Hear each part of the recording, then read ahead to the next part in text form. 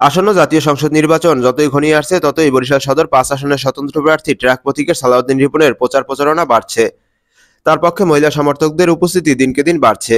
বাদ ভাঙা জোয়ারের মতো নির্বাচনী প্রচার প্রচারণা চালাচ্ছেন সালাউদ্দিন রিপন। শনিবার তেইশ ডিসেম্বর সকালে নগরীর নতুন বাজার বিএম কলেজ রোড, লাকুটিয়া সড়ক সহ বিভিন্ন স্থানে গণসংযোগ করেছেন স্বতন্ত্র প্রার্থী সালাউদ্দিন রিপন। এছাড়াও বেলা তিনটায় সদর উপজেলার চরবাড়িয়া ইউনিয়নের উত্তর লামচরি সরকারি প্রাথমিক বিদ্যালয় মাঠে নির্বাচনী সভা করেন তিনি। সভায় এলাকার নারীদের ঢল নামে। এর পরপরই একই ইউনিয়নের মুকুন্দপট্টি এলাকায় নির্বাচনী উঠান বৈঠক করেন তিনি। বিকেলে নগরী সাতাইশ নং ওয়ার্ড কুদঘাটা নওগাঁ মাধ্যমিক বিদ্যালয় মাঠে নির্বাচনী সভায় স্বতন্ত্র প্রার্থী সালাউদ্দিন রিপন মাঠভরা উপস্থিতিতে আসন্ন নির্বাচনে ভোট প্রার্থনা করেন।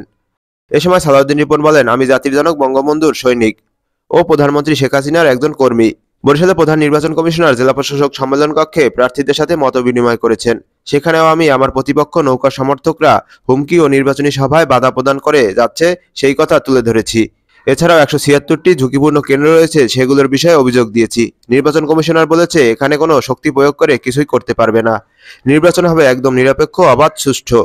তাই আমার মা বোনেরা আজ যেরকম ঘর থেকে বের হয়ে সবাই এসেছেন, ঠিক আগামী সাত জানুয়ারি সকালে যে কোনো বাধা আসুক না কেন, তা উপেক্ষা করে ভোট কেন্দ্রে উপস্থিত হয়ে নিজের ভোট নিজে দিয়ে প্রমাণ করে দেবেন বর্তমান প্রধানমন্ত্রী শেখ হাসিনার অধীনে সুষ্ঠু নির্বাচন হওয়া সম্ভব।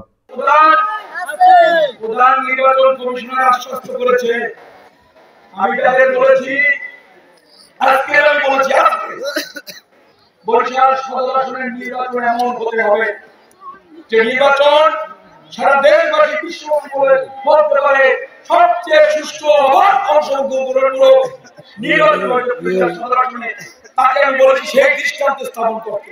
আমি তাকে বলেছি?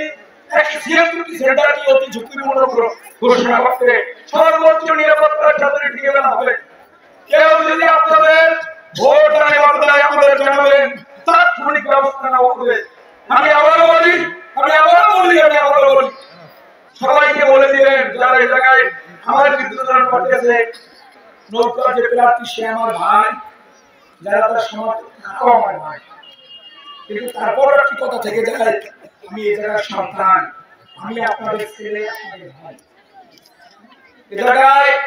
যেহেতু এই নির্বাচনে বিএনপি সহ অনেক দল আসেনি, আমি আশা করব তাদের সুখ দীর্ঘতর হবে।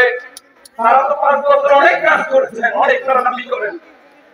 এটা অংশগ্রহণের ভোটও, তারাও ভোটারদের ভোট কেন্দ্রে বলুক আমরাও দিতে বলি যাকে জনগণ ভোট দেবে বঙ্গবন্ধুর কথা শুনে আমি বলতে চাই।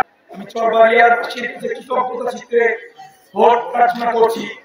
আপনারা দল মত নির্বিশেষে আমাকে ভালোবাসেন তার প্রমাণ আজকের এই সমাবেশ। এই এলাকায় এত বড় সমাবেশ আর কখনো হয়েছে আমি আপনাদের ভালোবাসা শিখত আমি চাই যারা যারা আসে নাই আমি অনুরোধ করব একবারের জন্য আমাকে দেখেন।